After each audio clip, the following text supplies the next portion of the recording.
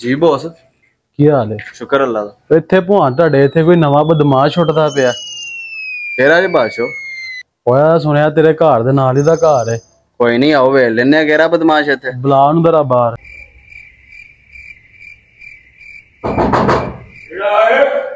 ਬਾਹਰ ਆਓ ਭਾਈ ਜਰਾ। ਉਹ ਆਏ ਨੇ ਆ ਕਾਲ ਹੈ ਮਾਮਾ ਬੁਆ ਭੰਨੀ ਜਾ ਰਹੇ ਪਤਾ ਬੁਆ ਆਏ ਆ। ਹਾਂਜੀ। ਕੀ ਗੱਲ ਹੈ? ਤੂੰ ਕਿਹੜਾ ਬਦਮਾਸ਼ ਓਏ? ਤੇਰੇ ਇਹ ਕੀ ਤਰੀਕਾ ਹੈ ਤੇਰੇ ਬੜੇ ਰੋਲੇ ਉੱਠਦੇ ਪਏ ਨੇ। ਕੀ ਹੋਇਆ ਭਾਜੀ? ਤੂੰ ਸਿੱਧਾ ਬੰਦਾ ਹੋਣਾ ਕਿ ਨਹੀਂ? ਭਾਜੀ ਹੋਏ ਹੋ ਜਨੇ ਐਸੀ ਕਿਹੜੀ ਗੱਲ ਹੈ ਉਹ ਗੱਲ ਹੀ ਕਰਨ ਵਾਲੀ।